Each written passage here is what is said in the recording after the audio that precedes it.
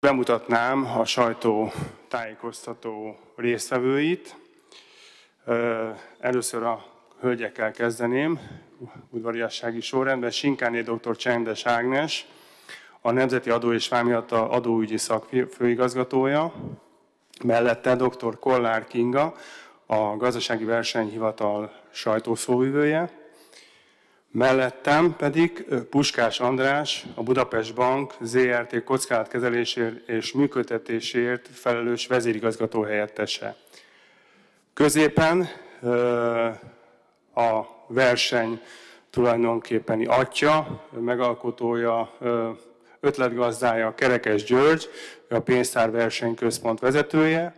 De október 7-én évfélig lehetett jelentkezni 14-22 évesekből álló középiskolás csapatoknak, és örömmel mondhatom, hogy mint ahogy az elmúlt hat év mindegyikében, ezúttal is jelentős érdeklődés volt, és itt megint négy számjegyű csapat jelentkezett, ami azt jelenti, hogy 1048 egész pontosan, ami azt jelenti, hogy több mint 4000 középiskolás jelezte a részvételét ezen a versenyen, ami azért is nagy szó, mert amikor 7 évvel ezelőtt elindultunk, akkor mi voltunk az úttörők, az egyedüliek, és most már vannak követőink, de, de ennek ellenére a mi versenyünk iránti érdeklődés az változatlan, tehát ez az, azt hiszem az értékét emeli. Én magam második alkalommal veszek részt ezen a sajtótájékoztatón. A Budapest Bank pedig negyedik alkalommal támogatja gyémánt fokozatú támogatóként ezt a rendezvényt, amit azt gondolom, hogy méltán híres és eredményes, hiszen ahogy elhangzott, most már második éve több mint ezer csapat vesz részt több mint 4000 diákkal ezen a megmérettetésen, és annak ellenére, hogy növekvő számban vannak versenytársai a rendezvénynek, tartja a stabil helyét, és azt gondolom, hogy nem probléma az, hogyha több egymással versengő rendezvény is van, hiszen a pénzügyi kultúra elsajátítása a diákok körében, legyenek azok középiskolások vagy főiskolások, egyetemisták, épp olyan fontos. És minél több ilyen rendezvény van, minél több ilyen verseny van, annál mélyebb ismeretekkel és annál több gyermeket, fiatal tudunk elérni a céljainkkal. Tehát célját akkor teljesíti be ez a verseny, hogyha minél többen részt vesznek rajta. A Budapest Bank ugye gyémántfokozatú támogatóként a fődíjat ajánlotta föl első helyen a győzteseknek, tehát fejenként 100 ezer forintot adunk a Hello BB számlacsomagunkon keresztül azoknak a diákoknak, akik megnyerik ezt a versenyt. Mi két helyszínnek is adunk otthont, ugye Békés Csabán és Budapesten. A Békés Csabai területi győztes csapatnak egyébként egy külön díjat is felajánlottunk, ez a külön díj pedig egy budapesti élménynap, ami részben meglepetés, hogy micsoda, de részben pedig ugye nyilván mi, mint Budapest banki vezetők vendégül látjuk a Békés Csabai győzteseket is, és adunk nekik egy betekintést a Budapest bank életébe, és elvisszük őket egy-két meglepetés helyszínre, illetve szervezünk nekik programokat.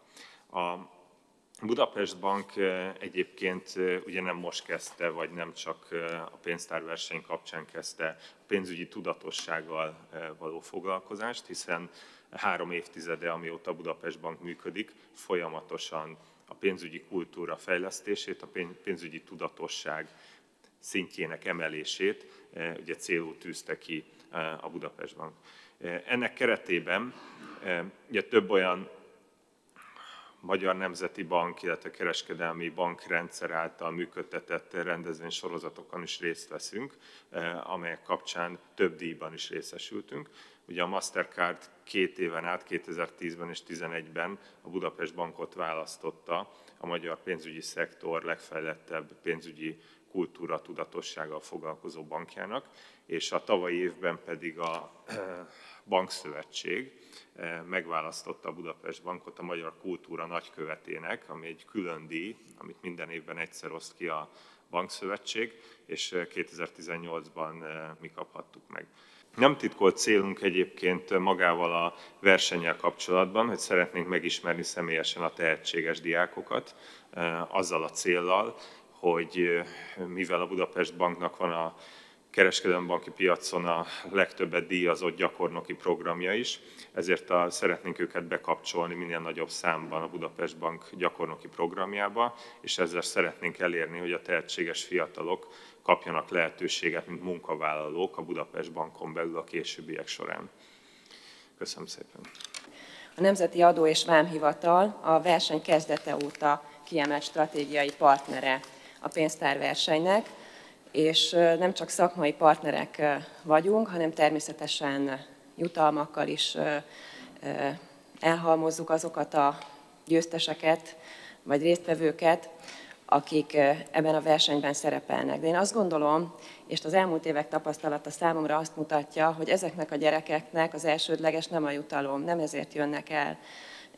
Számomra mindig rendkívüli felkészültségről tesznek tanúbizonyságot, és rendkívül dicsérendőnek tartom, hogy ők a kötelező tananyag letudása mellett hatalmas erőráfordítást tesznek azért, hogy sok-sok órát fordítsanak egy nem kötelező tananyagnak vagy ismeretanyagnak az elsajátítására.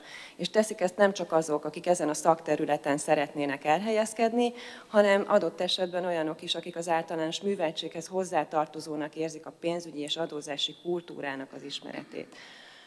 A Nemzeti Adó és Vámhivatalnak kiemelt stratégiai célja az adótudatosságnak az erősítése. Az idei évben a stratégiai megújulási programunknak a keretében kiemelt feladatként határoztuk meg egy adótudatossági stratégiai programnak az elkészítését. Ez a program az idei évben el fog készülni, amelyhez egy cselekvési terv is társul, és ebben a stratégiai programban minden korosztályra figyelmet fogunk fordítani, az óvodás kortól egészen az aktív korúakig. Viszont a stratégiában kiemelt fókusz területet képez a középiskolás korosztály, tekintettel arra, hogy meglátásunk szerint ez az az időszak, amikor a fiatalok az új ismereteknek a befogadására rendkívül hatékonyak. A stratégiában nem csak ismeret átadására törekszünk, hiszen ez az elsődleges, de az ismeret átadáson belül is nem csak egy egy jogi ismeretanyag átadását fogjuk megtenni, hanem természetesen szeretnénk megismertetni a fiatalokat azokkal az új fejlesztésekkel, online megoldásokkal, illetve a közérthetőség fontosságával, amivel azt gondoljuk, hogy talán sikerül náluk elérni, illetve reményeink szerint sikerül elérni, hogy az adózást ne teherként és ne bonyolult ügyintézésként azonosítsák.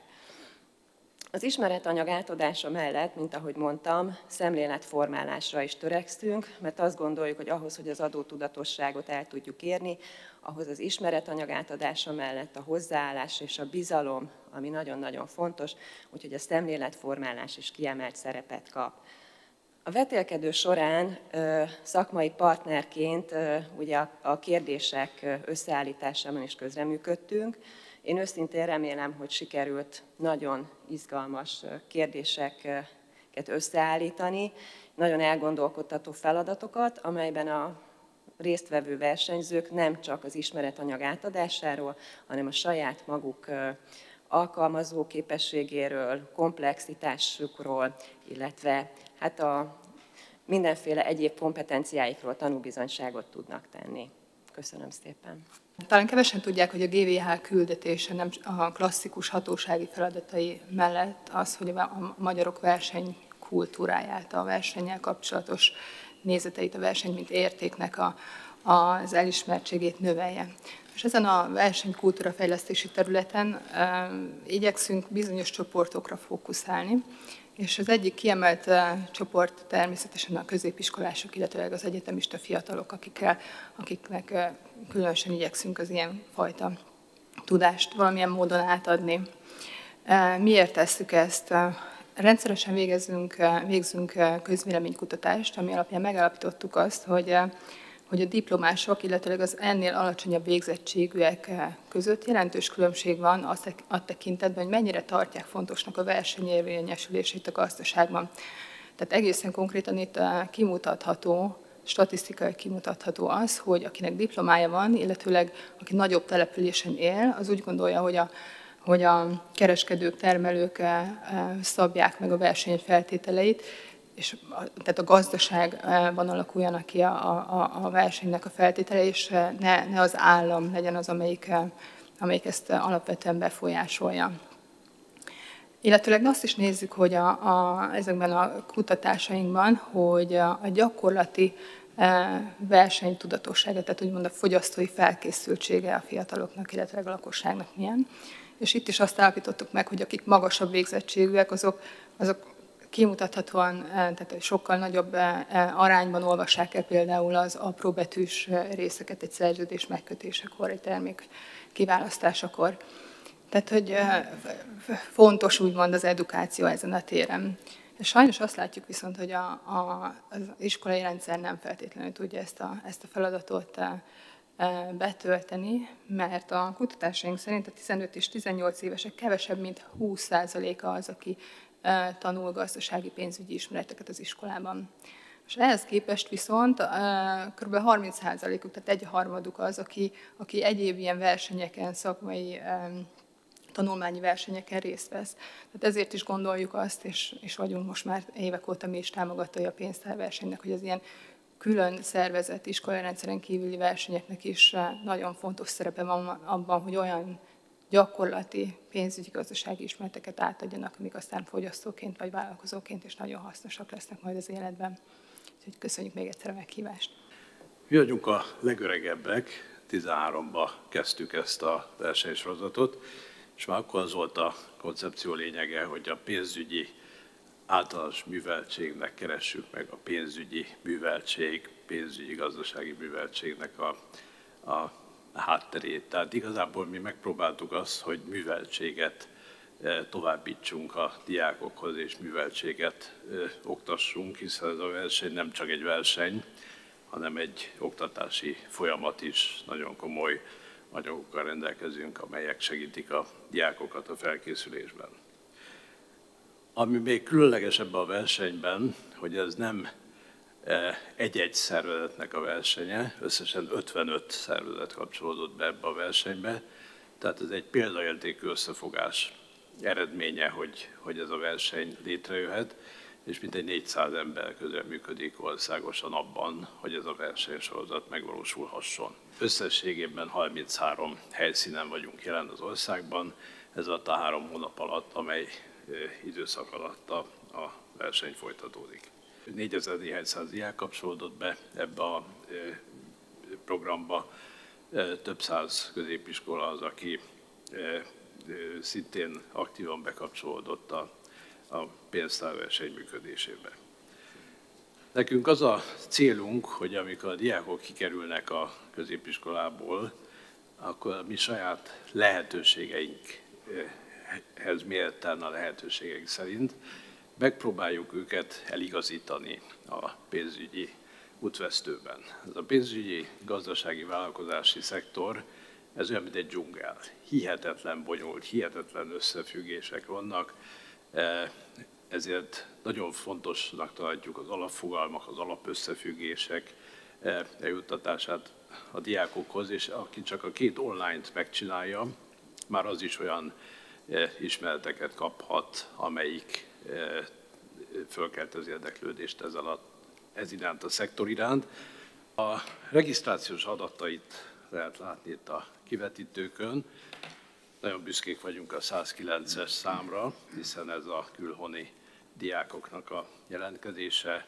Örülünk az, hogy e, a határoinkat túlról is nagyon sokan jelentkeztek. Elmúlt hat év során a monitoron látható győztesek e, nyerték meg a versenyt. Ennek nagyon jó az elosztása, hiszen van két budapesti csapatunk, van e, debreceni, tatabányai, Zalaegerszegi és Egri csapat is a győztesek között. A verseny témaköréről egy, egy pár szót, van egy olyan diagramunk, amelyikben azt próbáljuk jelezni, hogy eh, milyen területek az, amivel foglalkozunk. Persze egy-egy területnek van nagyon-nagyon sok alterülete, és ezeket sem hagyjuk természetesen figyelmen kívül. Összesen körülbelül közel 40 szakértővel működünk együtt, itt csak felsorolunk egy pár intézményt.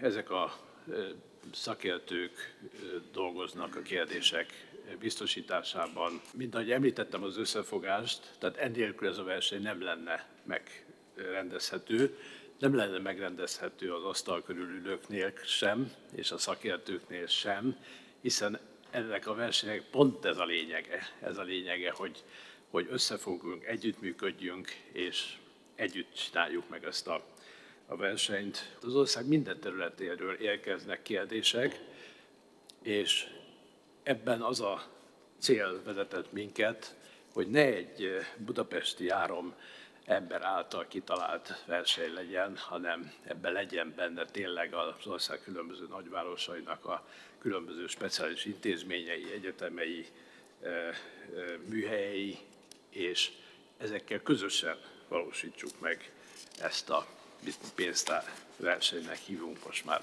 hetedik éve. A verseny menete az igazából januárban elkezdődik a háttérmunkákkal, de a konkrétan a versenyek kapcsolatban október 7 az első olyan dátum, amikor a jelentkezési határidő lezárult. Ez volt most e héten hétfőn, e, évfélkor zártuk a, a jelentkezési lehetőségeket, és hát a bemutatott számok magukért beszélnek. 8-án, tegnapi nap tartottunk egy próbajátékot, és a holnapi nap kezdődik igazából a verseny, tehát 10-én az első online fordulóval indulunk, egy héttel rá a második online forduló következik, majd sorra a megyei régiós országos elődöntés a döntő. A döntő december 10-én a Magyar Nemzeti Múzeumban fogjuk tartani, ami most már harmadik éve helyszíne a döntők fordulóinak. Végezetül hagy köszönjem meg támogatóinknak, szakmai partnereinket és főleg kollégáinknak a, a ezt a munkát. Minden kollega kiveszi a részét abban, hogy, hogy ez egy nagyon jól sikerült verseny legyen, és egy nagyon emlékezetes és, és hosszú távon ható verseny legyen. Köszönöm szépen!